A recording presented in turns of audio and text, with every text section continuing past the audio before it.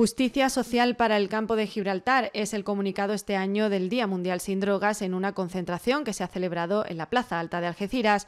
El acto ha contado con la presencia de autoridades locales y comarcales, entre ellas y en representación del Ayuntamiento de San Roque, la concejal delegada de Asuntos Sociales Eva Gil, además del presidente de la Coordinadora Alternativas, Francisco Mena, y del colectivo Barrio Vivo, Miguel Alberto Díaz, además la coordinadora de la AGE en el campo de Gibraltar, Esperanza Pérez y una representación del arco social de la comarca. Allí se ha leído un manifiesto donde se han realizado importantes peticiones como la zona de especial singularidad y el plan especial para el campo de Gibraltar.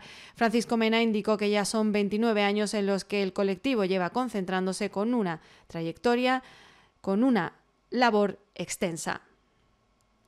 Por lo tanto, nosotros lo que le hemos pedido a las dos administraciones, cada una en función de sus competencias, es que eh, le otorguen esa singularidad al campo de Gibraltar.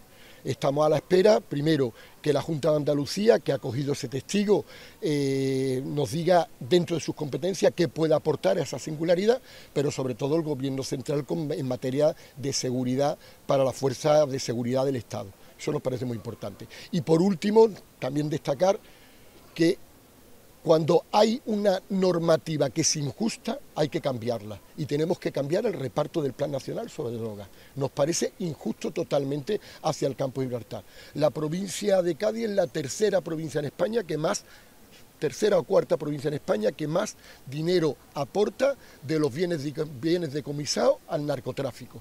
Y lo que llega al campo de Gibraltar es una miseria y una ridiculez. Por lo tanto, el delegado del Plan Nacional sobre Droga tendrá que plantear cómo cambiar, en este caso, esa injusticia. No nos parece de recibo que el único ayuntamiento que puede recibir algo de dinero es el ayuntamiento de Algeciras, teniendo que hacer una aportación propia. Ayuntamientos como el de la línea, con la afectación que tiene al narcotráfico, como el de San Roque o como el de Puente Mayorga, no puedan acceder al dinero del narcotráfico y el movimiento asociativo tampoco, porque no tenemos carácter nacional. Miguel Alberto Díaz, presidente de Barrio Vivo, mostró su indignación ya que las fuerzas de seguridad en la zona están amenazadas y se tienen que poner todos los medios para que exista más dureza a través de la ley. La gente que están padeciendo el problema de la droga en sus casas, las familias que lo están padeciendo, y yo quiero hacer hoy una cuestión muy singular. Lo que están padeciendo las fuerzas de seguridad, el temor, el miedo.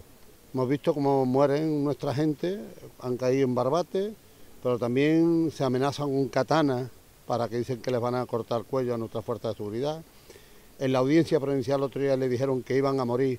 A los que iban a testificar, a guardias civiles que iban a testificar, le dijeron también que iban a morir, como los dos de Barbate, y yo digo que eso no vale, que tenemos que poner todos los medios para que toda esta gente termine en la cárcel, para que haya mucha más dureza con la ley y con la fuerza de seguridad y con todos los medios que tiene el Estado de Derecho, para que nuestra gente, los que nos protege, que son guardias civiles, que son policías locales, que son policías nacionales, que son la gente de vigilancia aduanera, tengan el respaldo que necesita y que, y que quiere la sociedad darle.